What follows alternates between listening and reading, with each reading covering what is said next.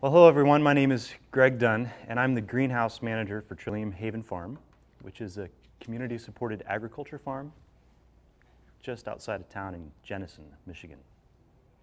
Uh, I'm the greenhouse manager there. I try and keep all of our plants healthy and alive and on schedule, and also manage our seedling line that we uh, sell at the Fulton Street Farmers Market. We're there every Saturday morning, and we'll be there through Father's Day with uh, three inch pots of seedlings. I want to thank Sarah for inviting me back. Again, I was here a month ago and we talked about getting started, what vegetables we can plant out in the garden in early to mid spring.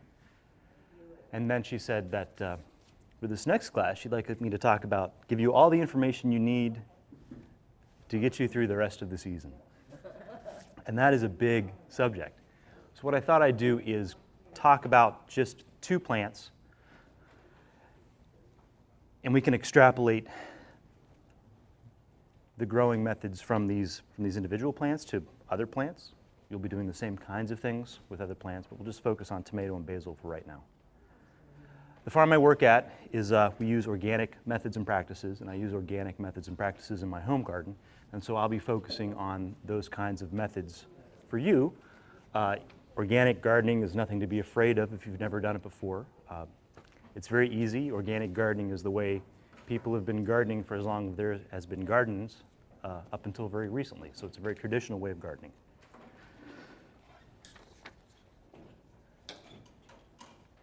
Since there's so many different things I could talk about and so many different vegetables and each have different growing conditions, different plants, uh, pests, and diseases, it's important uh, to have a good reference guide. Often you'll have a question, and the best way to answer that question is to, is to look it up in a, in a nice reference book. One I like a lot is The Gardener's A to Z Guide to Growing Organic Food, uh, which is a great basic introduction. It has general information on organic gardening, and then it goes through each individual crop. Snap beans here, for example, and we'll talk you about, it'll walk you through soil and water needs, pests and diseases that they are prone to allies, plants that you can grow them with for companion planting. It'll recommend varieties in some cases. Uh, it's a lot of information in a small space, and if you really want to go more deeply in your gardening, uh, a, good, a good guidebook and roadmap is always helpful. So planting. For tomatoes and basil, they're very warm season crops, and so we need to wait in West Michigan to plant these until after the threat of frost has passed. For most of us in most of West Michigan, that date is going to be Memorial Day weekend. Sometimes you can push it forward a little bit. Uh, if you live in town, for example, uh, I get about a week added on to the growing season because in town you have the urban heat island effect and temperatures simply are warmer uh, in town than they are out in the country. If you live, if your garden is on a high spot, uh, you will have frost. Your last frost will be earlier because cold sinks.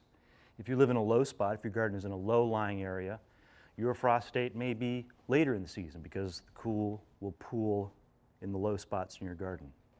But as a rough rule of thumb, Memorial Day is the date when you can safely plant out tomatoes, peppers, eggplant, basil, annual herbs.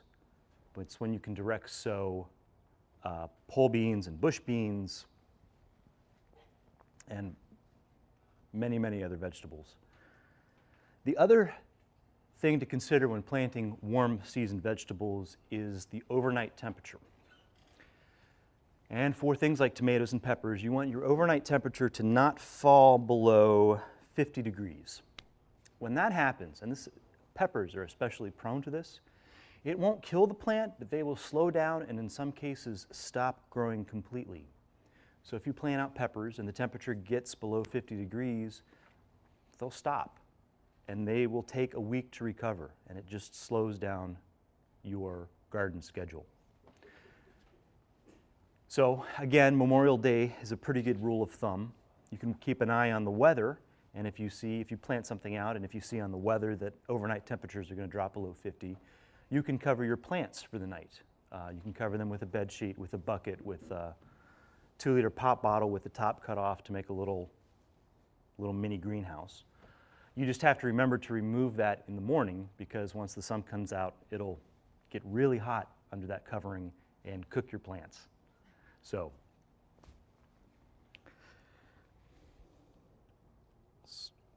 so we're looking for that 50 degree temperature overnight to begin planting out. For things like tomatoes and peppers, you will either want to buy transplants or start seedlings indoor roughly six weeks before the date you're going to plant out. And the reason for that is not only do we have to keep an eye on the last frost date in the spring, we also have to keep an eye on the first frost date in the fall, because that will constitute our growing season. And if you read a seed packet or if you read a plant label, it'll say something like 95 days to maturity. That 95 days is how long it's going to take for that plant to bear a crop. And you want the plant to be able to set fruit, ripen, and harvest before it's killed by the frost. And 95 days is pushing it around here. So if you start your plant indoors, you gain six weeks. Things like winter squash uh, often needs to be started indoors because it has a long growing season. Many of the heirloom varieties of tomatoes are 100, 110 days till maturity, uh, and you want to start those inside. Starting inside is fairly straightforward, but it's also kind of a whole other thing, um, and I won't be covering it here. So you may want to think about buy, just simply buying your plants from a nursery. And when you're buying plants, I want to encourage you to buy plants from a reputable, responsible, and local, local grower. And I say that not only because I am a responsible, reputable local grower, I hope I'm re responsible and reputable. You go to the city market?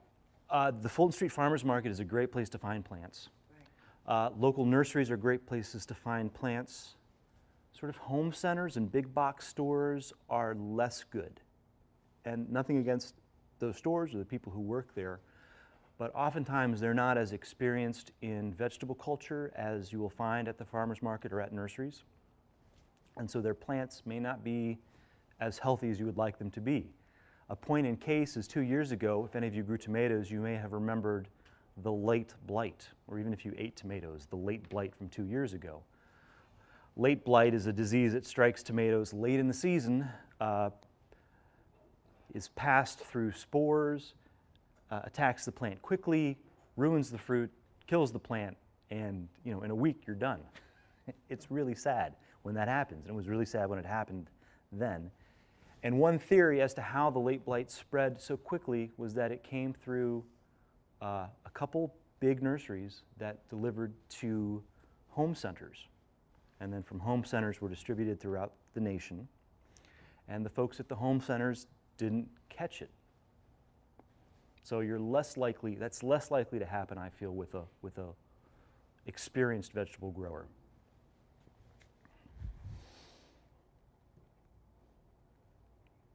So, planting out. You've gotten your plants from a local, responsible, reputable grower. It's Memorial Day weekend and you're ready to plant out. You've prepared your garden bed. You have a nice, loose soil uh, maybe you've amended it with some compost or some well composted animal manure, and you're ready to plant. How do you do that?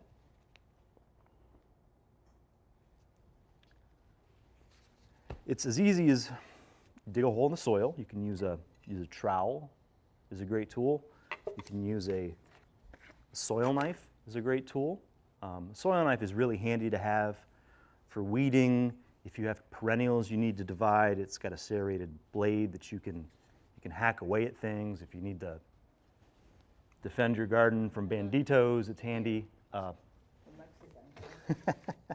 and you uh, make a hole, and then in that hole, put in, say, a handful of compost, or another great product is fish emulsion. Fish emulsion is a fish and seaweed product, byproduct, uh, that you dilute in water and use that to fertilize with. Great organic matter, has lots of micronutrients, has lots of bio, little biological life to improve the microbial life in your soil. you know, you might pour a little dollop of that in your hole. You take your pot, take the tag out, save that for later. I'll do this here over my paper. Just sort of gently squeeze, tap the pot. It comes right out. Now, when you look at the root ball, you want to you want to pay attention to this a little bit. If the plant has been sitting in the pot for a while, if it's if it's getting a little a little aged, there'll be a large root ball, and sometimes it'll form a dense mat around the edge of the pot. Before planting that, you want to break apart those roots. Even with this one, you might want to tease apart the roots a little bit. If it's a real thick mat, you, you want to just even tear into that.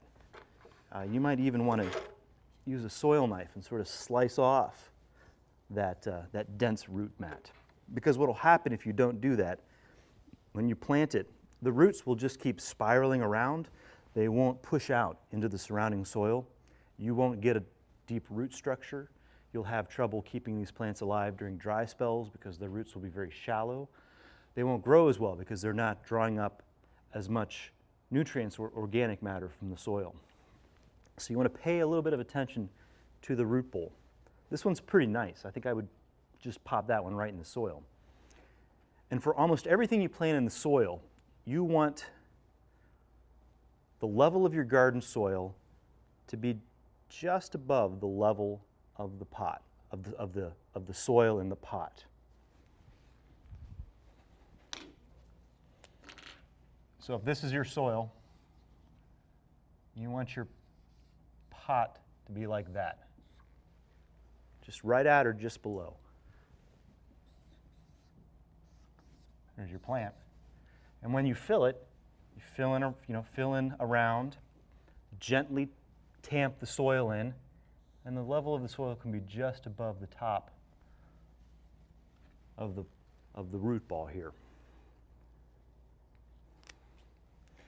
If you plant the plant too high, if your plant's sitting way up here, you run the risk of this drying out too quickly. If you plant it too deeply, you run the risk of the stem of the plant rotting off. So you just kind of want it right there. Gently push it in. Don't pack it in. Don't make it dense and compact because that will make it more difficult for the roots to push out into the soil. And then once you've done that, gently water it in, we call it. You know, sort of take your watering can with a gentle rose or your hose with a nice gentle spray and just sort of water it in and let the water settle the soil. And then you're done. Move on to the next hole. Tomatoes, I want to say, are an exception to this rule. Tomatoes are interesting in that they will set off roots anywhere along this stem. If you put up a tomato and it falls out of its trellis and lies on the ground, it will actually root in all along here and just grow straight into the ground. It's a crazy plant. We've even, at the farm, we've even, you know, taken cuttings and cut this off and stuck it in a thing of soil and in as little as a week, it'll send roots out from this stem. So tomatoes you can plant, that, what that means is tomatoes can be planted more deeply, and that's a benefit to it. You know, you could come up as deep as this. You could pinch off all the, all the branches below, put it deep in a soil, and what that will do is help it develop an even denser root system because it's growing roots down here from the root ball, it's shooting roots out from the top, and you're going to get, again, that great root structure that's going to drop water, that's going to drop nutrients, and is going to give you a healthy, happy tomato plant.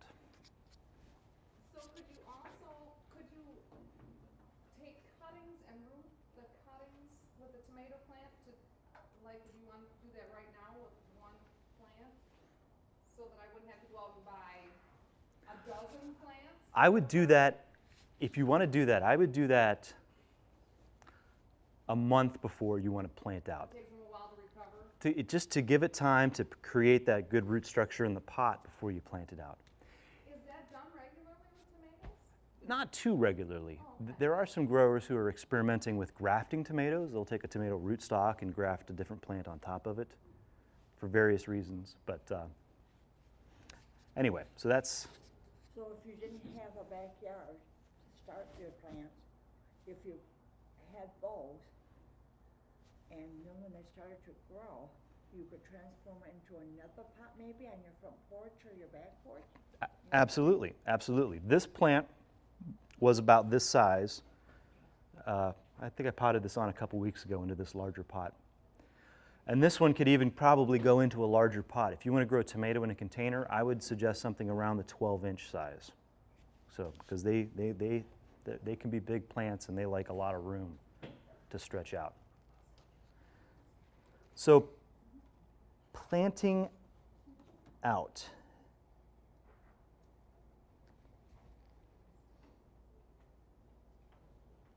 That's all I have to say about that.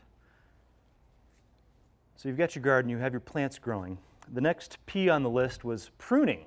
Uh, Sarah wanted me to talk about pruning.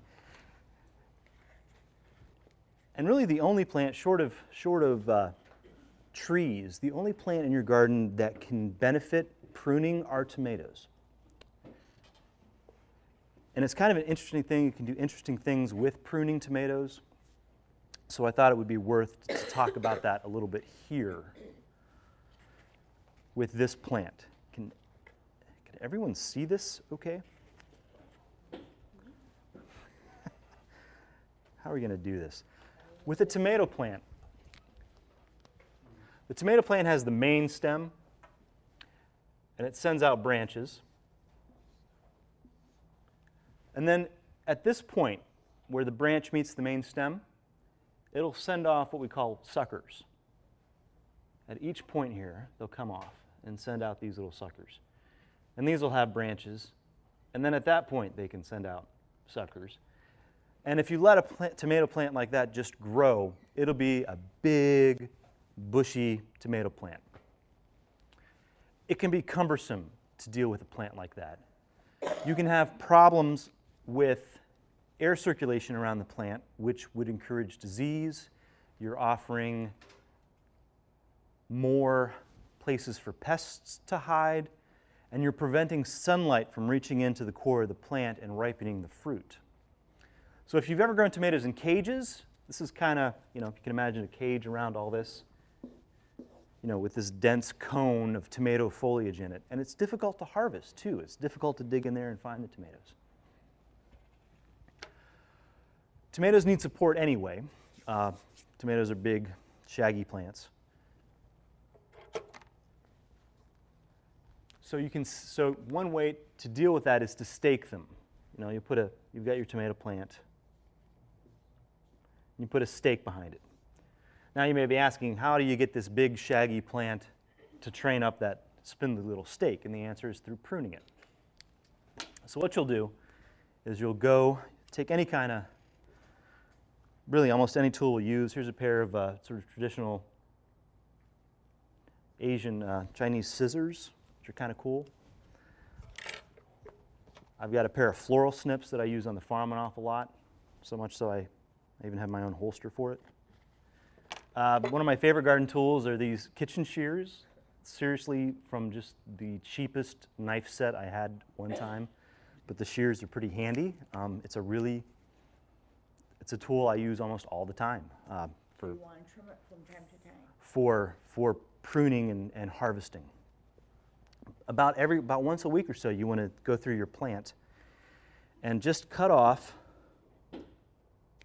those uh, those suckers. Let's see. We'll set it we'll. Set it up here. Will that work? Is this better? So, so here's the main stem. Here's the branch. Right here in the, in the crotch is this little sucker. We'll just snip him out. And then here's another one. And then here's another one right here. And it's getting kind of big and it's, it's getting hard to tell the difference between the sucker and the stem. But you kind of look to see where the branch is and you can find it. We'll cut him out. Here's another one. And here's a little tiny one. We'll just pinch him out right there. And here's another one. So, now what I've done is, opened up the structure of the plant. Well, I've given myself a main stem that I can attach to the stake. And it's going to make staking this tomato a lot easier. The other thing I've done is opening up the structure of the plant. There's all kinds of air circulation that can now get around this plant. And so long as I don't crowd it with its neighbors, that will help it resist, it will help disease and fungus, especially funguses, fung, fungal diseases from attacking the plant because there's more air circulation, it's a little drier around there. And then when this plant begins to blossom and set fruit, sunlight's going to be able to come in and reach that fruit and ripen it more easily. And then when you go to harvest it, it'll just be this neat, wonderful little plant uh, to harvest from. One other thing that pruning does is that it concentrates the energy of the plant kind of where you want it. When it's shooting off all these suckers, it's creating this growth and it's putting energy into this extra growth that we really don't need and is causing us trouble. Keeping it pruned like this focuses the energy into this main stem and into fruit production, which is where you want it.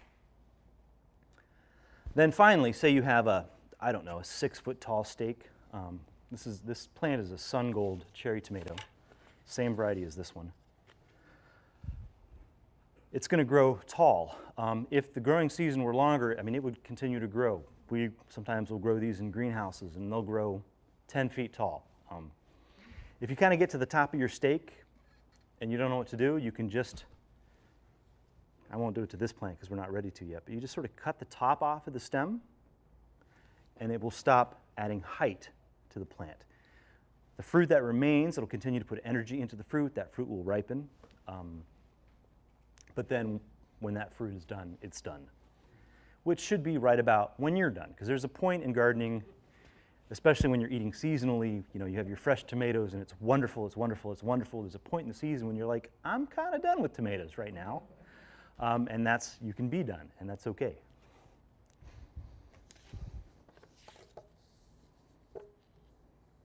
Basil, herbs. Now this really isn't pruning so much as an aspect of harvesting it. With most herbs and things uh, you want to not pick off just the leaves. Some people will just pick off the leaves. Like, I need some, I need some basil for dinner. You'll pinch off, you know, a couple leaves. Then their plants get really tall and spindly. And then they go to flower and they turn nasty and, and then they're done. And people come to the farmer's market, they say, what happened to my basil plant? I'm like, well, it's a harvesting issue. What you want to do is harvest at the stem level.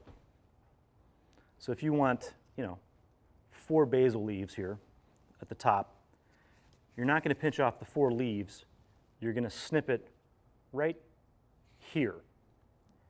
Now you can see there's sort of a node here. There's two large leaves.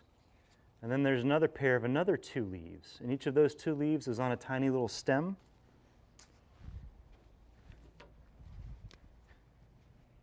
So it's looking something like this. There's a leaf. And then it's kind of got this little mini stem going on here. And then this up here. If you snip it right here, these two stems will turn, will, will grow and double the size of the plant. And they'll grow and they'll look like, like it does up here on top, except there'll be two of them. And then you do that again, and you do that again and you're always pinching it back. And you're always encouraging it to branch off. And if you do this consistently over the course of the season, the plant's going to get bushier and bushier. So instead of going straight up, being spindly, having a few leaves, it's going to be this nice, lush, full, bushy plant. It's going to have a bushy habit, is what we'd call it. Um, so that's how you do that. Not really pruning so much, but more, more of the harvesting the other thing, if you do happen to see it start to flower, like at the top here, it'll put sort of like a little spike and it'll start having little tiny white flowers. You want to pinch that blossom off, pinch the top of that out. Because when herbs, by and large, when herbs start to flower, they're not as delicious as they used to be. Because the plant's putting energy not into foliage production, but into flower production. All of its energy is going to produce seeds. And so, therefore, the quality of the leaves is not as high as it was before it started to flower. At a certain point, it's going to do that anyway. To, we're really trying to postpone that as long as we can. But at a certain point, it's going to flower, and then, and then you're done, and that's great. And you, then hopefully it's September, and you're like, all right, I'm done with basil. That's, I'm okay with that. So planting, pruning. This doesn't start with this P, but uh, we talked a little bit about supporting, about plants that need support. Tomato is one. You can use stakes for that, which I recommend. If you have, to, if you have tomato cages, I would recommend that you use them to grow your peppers in, because peppers are kind of a big branchy plant. They're kind of awkward to stake. If you put all of that growth, and it doesn't get as lush as a tomato cage, but if you, you use that tomato cage to support it, it will do really well. I tried that last year in my garden, and I had nice big plants with full fruit. It kept the fruit off the ground, which means the fruit didn't rot. The fruit was up in the air, so it ripened better. Uh, so tomato cages for peppers, really great. For tomatoes, not so much. If you're growing pole beans, you'll need some kind of pole to grow the beans up, obviously. If you have a bush type bean, you can just leave them be on the ground. You can grow cucumbers up a trellis to save space. You can grow gourds up a trellis to save space.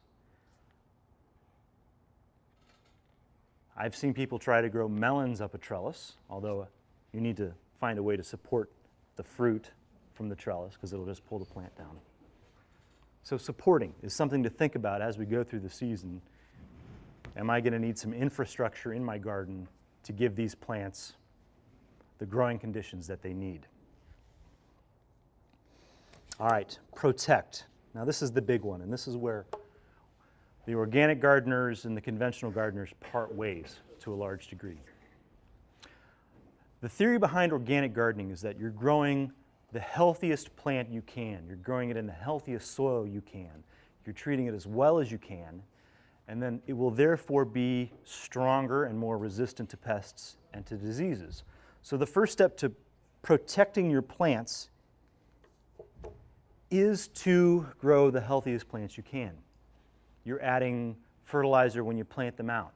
Every couple of weeks, you're top dressing with fertilizing, with uh, compost. And what top dressing means is just take a scoop of soil and sprinkle it around the base of the plant, kind of work it in with your fingers. Um, you're top dressing. You can use a fish emulsion diluted in water to feed the plant every so often.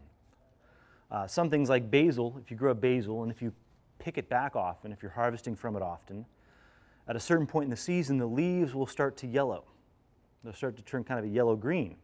It's not sick, it's just hungry because it's, it's exhausted the soil right where it is because it's been producing so many leaves and you've been harvesting it and you've been making caprese salad and pesto and tomato sauce. And so it needs, it needs a snack, it needs some more food. And so you can top dress with compost or fertilize it with fish emulsion. So the plants are really healthy.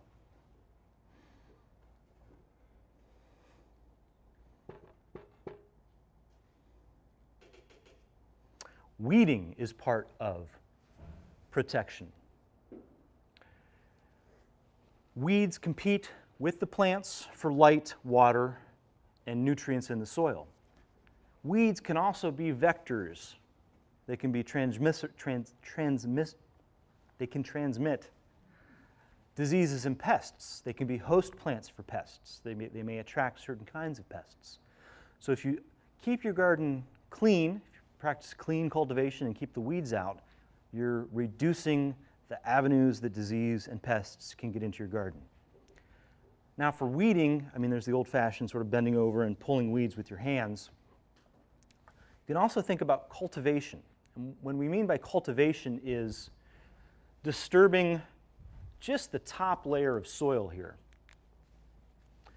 You've got little weeds growing here. You don't need to churn all of this up. You don't need to hack it all apart with a hoe. And in fact, if you do that, what you'll be doing is bringing more weed seeds deep in the soil to the surface of the soil where they can germinate and create more weeds. You just want to cultivate this top inch or so of soil. If you have a big area, you can use what's called a collinear hoe. I didn't bring one with me because it's a big tool and I had my arms full. But if you go to a catalog like Johnny's Seeds, Johnny's Selected Seeds, which is a great resource, if Johnny's doesn't have it, you probably don't need it. Um, but it's, it's not a hoe where you sit and hack at the ground. It's a hoe with a thin blade. And when you stand up and grasp the hoe like this, the blade is going to be parallel to the ground. And you just run that blade right in that top inch of soil, disturbing that top layer of weeds. You do this on a bright sunny day, disturb the weeds, the weeds wither in the sun, and you're done. Um, and if you keep at them when they're small, uh, you avoid a big weeding project later on. I brought some hand weeders that are kind of the same principle. This is a, a hand weeder with sort of a bar with two edges on it. And you just do the same thing. Run that under the top edge of the soil to disturb the weeds. Here's another one. It's got a nice sharp point. If you're careful, you can work right up, right up to the base of the plant to get the weeds that are growing right underneath it. Mulch is another great thing. If you collect your, your grass clippings for your lawn, for example, and you don't apply broad spectrum herbicides and pesticides to your lawn, you can take those grass clippings and put a couple inch layer of mulch in your garden beds around your plants and it will smother the weeds and prevent them from germinating and growing. So weeding, cultivating, mulching. Try not to spread broad spectrum herbicides and pesticides. Try not to spray things that are going to kill everything because they'll kill everything. Uh, if you spray certain weed killers on a windy day, it'll blow onto your garden plants and kill them, and that will be sad. Um, if you spray broad spectrum insecticides and pesticides, you're not only killing your pests, you're also killing beneficial insects. Um, not all bugs in the garden are bad. There are some you want to be there. There are some that eat the things that are eating your vegetables. These bugs are your friends, and you want to invite them in, and you want to not kill them when they're there.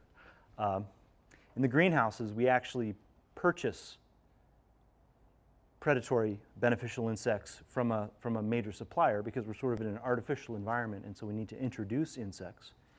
So if we have a problem with aphids, we'll buy a pound of ladybugs. We'll get a pound of ladybugs in the mail, which is awesome. And we'll distribute them throughout the, uh, greenhouses and they'll feast on the aphids. There's a parasitic wasp that uh, will lay its eggs on aphids, and when the eggs hatch, they burrow into the aphid and eat it.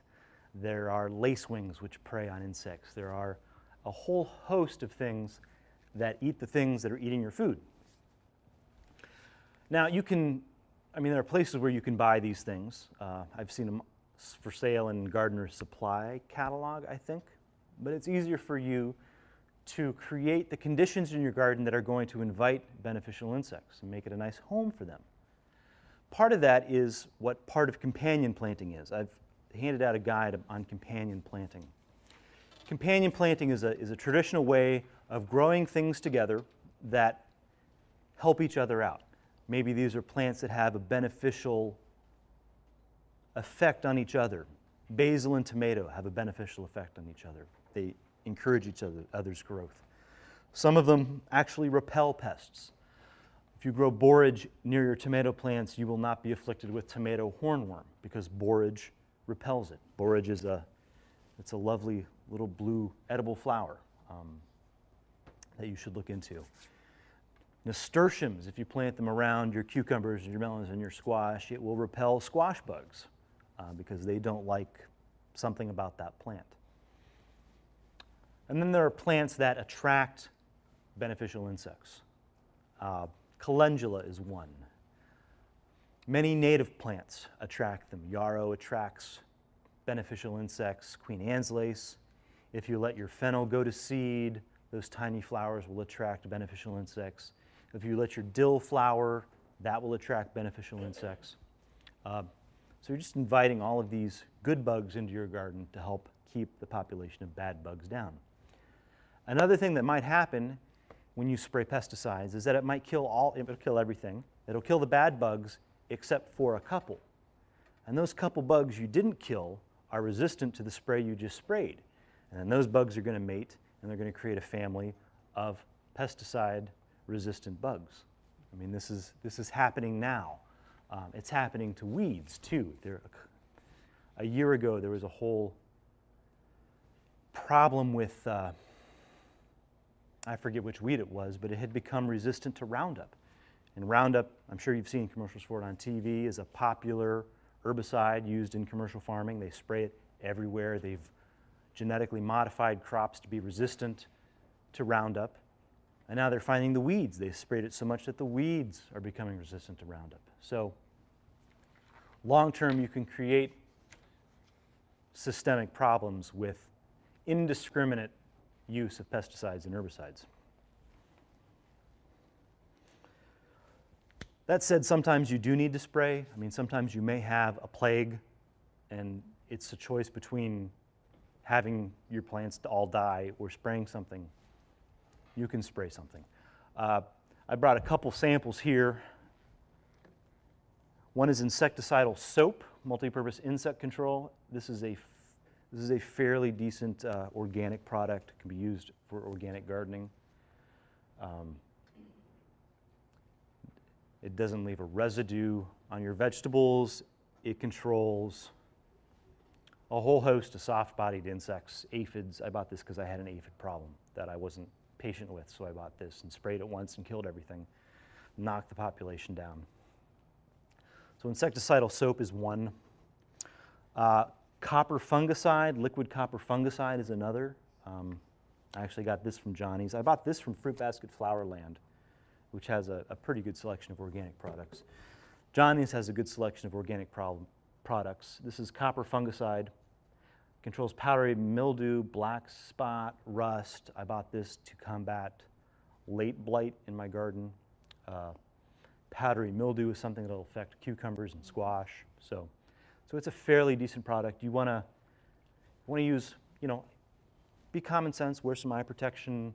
Uh, you might want to wear a pair of I don't think you need to wear a pair of gloves, but you could wear a pair of gloves so to apply it. Don't apply it the day you're going to be harvesting things. You know, you may want to make sure you rinse off your food before you eat it if you if you spray this. But it's, you know, sometimes you have to do it. So when you do it, you do it, you know, do it do, do it focused. Use the least damaging product you can. Use it only when you need it, uh, and use it right where you need it.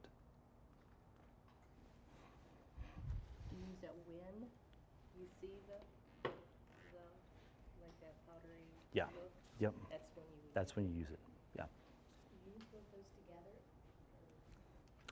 I, you, I would have to read the labels. read the labels carefully. Um, some of them have important information. All right, specific pests. How am, how am I doing on time? Just a little bit here. Specific tests, pests. If you have trouble with birds, get some bird netting. Um, you, can, you can buy a, a lightweight net mesh that you can cover with. You can cover your plants or you can cover the affected plants to keep the birds off of them. Uh, some people will take aluminum pie pans and hang them up, and they'll spin in the light and frighten away the birds. Uh, you can buy giant beach balls with giant eyes on them. They're called scare balls, you know, um, and that's supposed to keep them away. You can get predator decoys, you know, big plastic owl that you put in your garden. It may keep the birds away. Squirrels and rabbits. Squirrels are my big pest in my urban garden. And I didn't bring any, but the best thing for squirrels and deer, or squirrels and rabbits, are cayenne pepper. Get the biggest, you know, go to Costco or something, get a big thing of cayenne pepper. And if you have trouble keeping squirrels away, sprinkle that on the ground. Um, and it's worked well for me. There's a homebrew recipe for a spray, a cayenne pepper spray, on the handout there. And that's just adding a little bit of is it dish soap. Add a little bit of dish soap to that, and that helps the cayenne pepper adhere to the plant, uh, makes it sticky.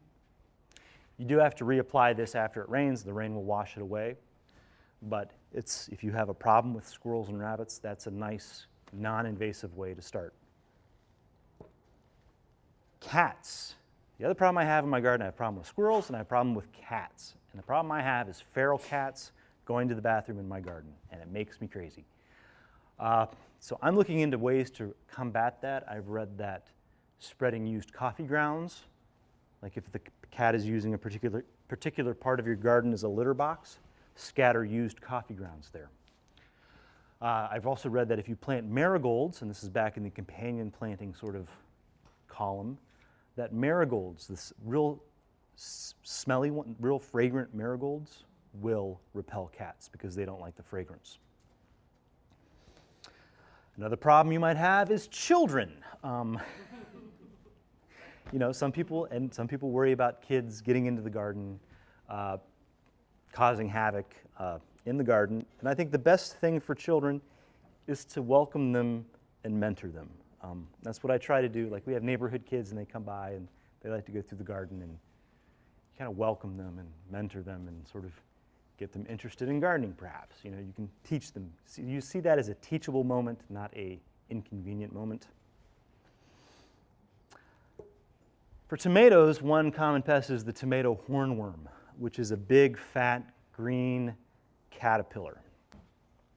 Um, the best way to, combat, to combat that, short of repelling it with borage, is you, you pick them off and you squish them. This is mechanical insect control, um, and it works for a lot of things.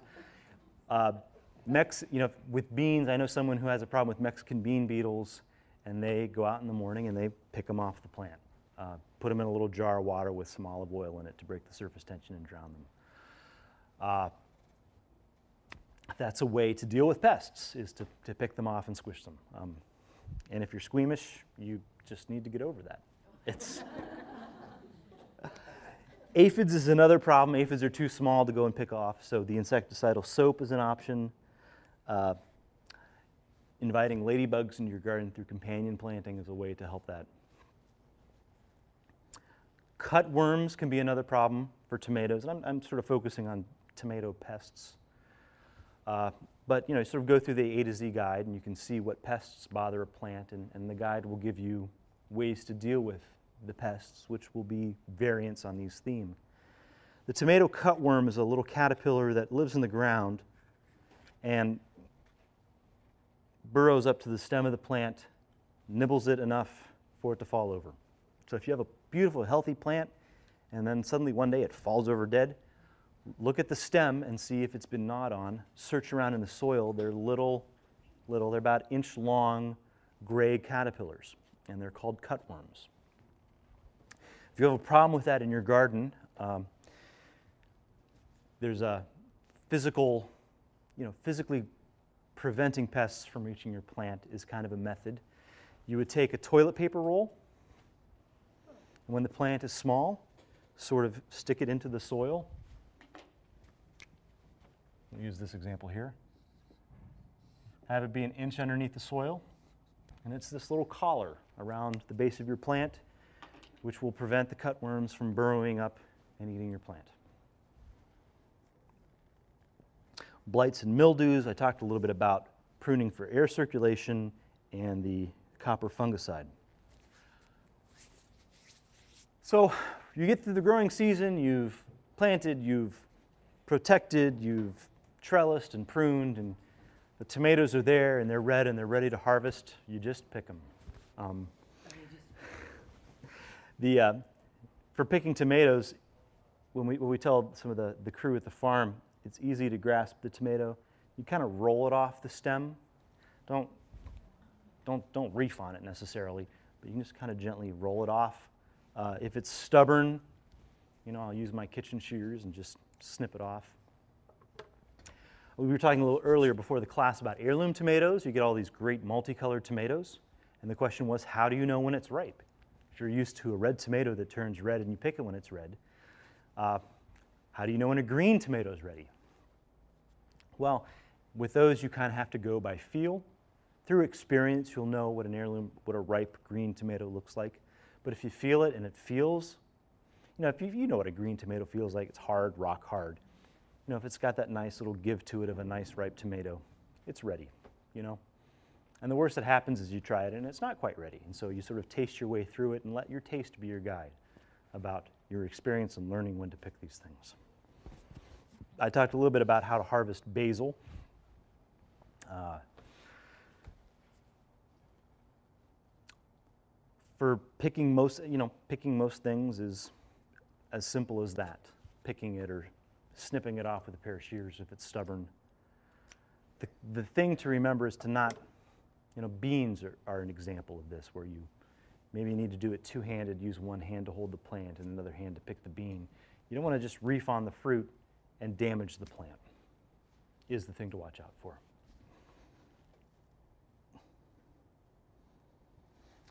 I've included a couple recipes. Um, at the farm, we like to always not only tell people you know, how to grow things, but also how to you know, give them suggestions on how to cook them. So I've included some, some of my favorite tomato and basil recipes. Uh, the cherry tomatoes with pasta is a really easy thing to do, especially if you get, uh, you grow a number of tomato plants and you grow a, a red one, an orange one, a green one, a pink one, you know, the different heirloom varieties, and you slice those up and mix them all together. Visually, it looks great. In terms of flavor, it tastes better. Um, but it's just mixing that with some garlic, some olive oil, some fresh basil, and tossing with hot pasta. Easy, easy, easy. And then for preserving, on the, on the back, there's a couple ways to preserve it. That's another really satisfying thing to do with your garden, is to put, put food up, as they used to say. I do a lot of freezing at my house because it's because canning is a whole other thing. Freezing is really easy. Uh, the roasted tomato recipe is a fabulous way to uh, to preserve tomatoes for freezing. You just bake them down into these nice little, almost sun-dried looking tomato things, and put the whole baking sheet in the oven or in the oven. Once it's done, you put the baking sheet in the freezer, freeze them in place like that, and you can just put them in a zip top bag and pull out as many as you need throughout the wintertime. Pesto for basil is easy to freeze. Um, if you're going to do a lot of it, we have a dedicated ice cube tray that we use for freezing herbs. Um, some herbs that you mix with oil, like, pest, like for pesto, and freeze it that way. Some herbs you can chop up, put in the ice cube trays, fill up with water, and let freeze, and you have sort of ice, ice cubes with herbs in it. You can crack those out of the trays and put them in a zip top bag, and then all through the winter you can take a cube of thyme and put it in your soup that you're making, or chives, put that in the soup that you're making. It's a great way to freeze and preserve herbs. That is, that is all I have. Are there any questions? Yes.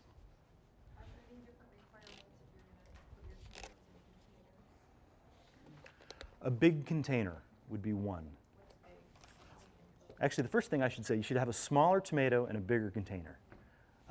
For tomatoes, you want to look at, there are two kinds of tomatoes, indeterminate and determinate. That refers to how large it grows. A, an indeterminate tomato will grow as long as it lives. Its height is indeterminate. A determinate tomato will grow to a certain height and then it will stop has a determinate height. Look for determinate varieties for your container gardening because they'll just be much easier to manage uh, in a container. You know, you get a big tall plant, it'll could tip over. Putting a trellis on it or a stake on it could be difficult. And then, so small plant, big pot. Look for something in the 12 inch range, 12 to 14 would not be too large.